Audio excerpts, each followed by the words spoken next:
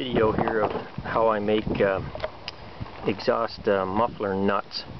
Normally when uh, you get a, I guess it's older style Briggs engines that have the, uh, the you know, uh, this this style of muffler, uh, come in two sizes, maybe even three, but anyway, a lot of them have this nut that screws onto the, the muffler and so you screw the muffler in uh, you don't necessarily bottom it right out and then you, uh, have the nut screwed on and you you uh, bring it out against the block and it stops the muffler from vibrating out.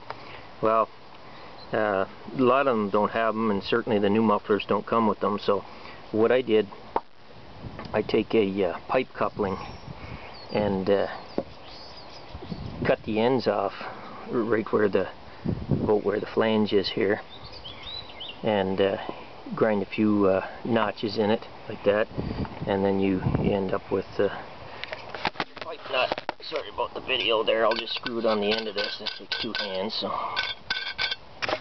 So you screw it on the muffler like that.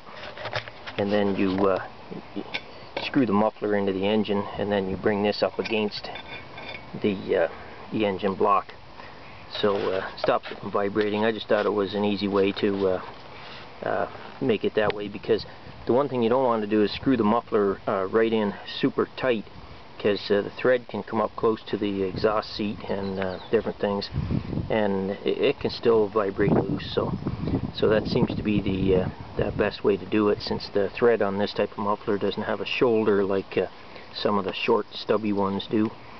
So anyway, just wanted to show you my idea there on how to use a uh, pipe coupling to make uh, two muffler nuts.